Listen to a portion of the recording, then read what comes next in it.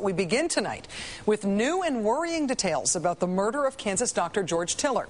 Today, confirmation that Dr. Tiller's alleged assassin, Scott Roeder, was in contact with the extreme anti abortion group Operation Rescue in the months leading up to Dr. Tiller's murder. Up to this point, Operation Rescue has maintained that Scott Roeder was not a member of their organization, but evidence of a link between the two that was first inadvertently spotted in local television footage has now been followed up and confirmed. Check this out. Immediately after the Tiller shooting, when Scott Roeder was pulled over by police, local TV footage from KMBC captured a glimpse of a small note that was on the dashboard of Mr. Roeder's car.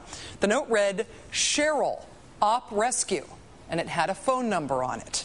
Cheryl at Op Rescue, we can now tell you, is Cheryl Sullenger. She is employed by the anti abortion group as their senior policy advisor.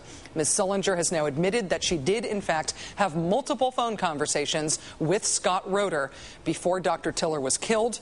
Those conversations were about Dr. Tiller. Operation Rescue maintained and still maintains something that they call Tiller Watch on their website. Allies of Dr. Tiller in Kansas say that until recently, Operation Rescue also posted online the doctor's real home address and the address of his church, which, of course, is where Dr. Tiller was ultimately murdered this weekend, allegedly by Scott Roeder. Cheryl Sullenger tells the Kansas City Star, quote, I was polite enough to give him the information. I had no reason not to. Who knew? Who knew? You know what I mean?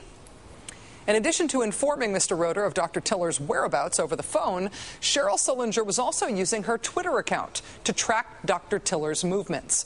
March 12th, 11:24 a.m. Ambulance just took woman from hospital from Tiller's mill. Photos, video to come. Tiller tried to hide from us. March 5th, 7:23 p.m. Inviting all to Tiller trial in Wichita, March 16th. February 20th, 11:26 a.m. Meanwhile, bloody business as usual at Tiller's Shop of Horrors. Before she became Operation Rescue's senior policy advisor, Cheryl Sullenger served almost two years in prison for conspiring to bomb a California abortion clinic in 1988.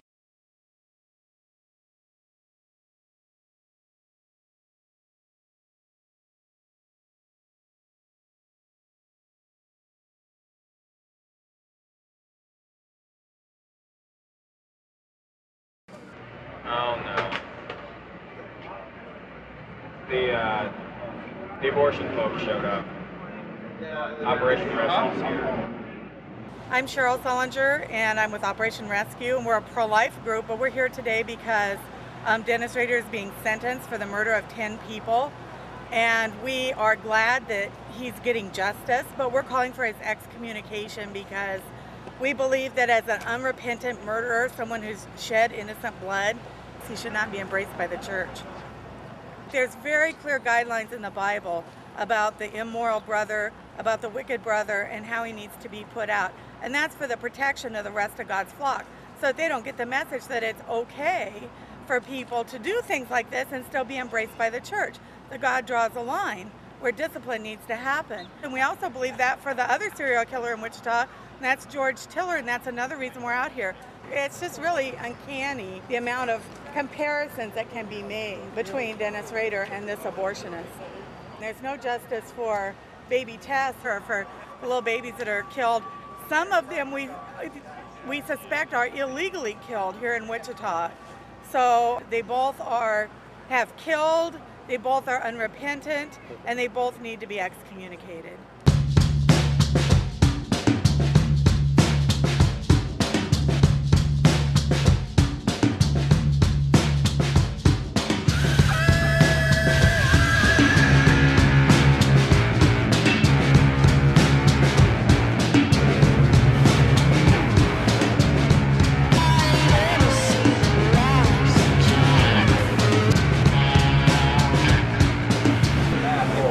Sure what we're going to hear, but we do know that it will be more detail than we've ever been provided before. We know this time that these pictures are going to be shown. We know this time that we are going to hear from the detectives that actually did the investigation. And there's just a sense out here that this is finally the end is about to begin.